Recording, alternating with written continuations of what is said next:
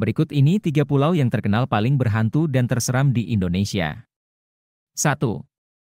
Pulau Kumala di Kalimantan Timur. Beberapa pengunjung mengaku sering melihat penampakan genderuwo dengan mata yang merah menyala. Ada pula hantu perempuan yang sering berdiri di dekat jembatan. 2.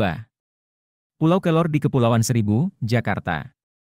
Pulau ini menjadi tempat dikuburnya para tentara yang tewas saat berperang. Beberapa pengunjung mengaku sering mendengar suara langkah kaki tentara tanpa ada sumbernya, dan bahkan pernah ada yang melihat penampakan hantu tentara tanpa kepala. 3. Pulau Kembang di Banjarmasin. Pulau ini dihuni monyet ekor panjang dan bekatan, konon kedua hewan ini adalah tentara Jepang yang dikutuk untuk menjaga pulau.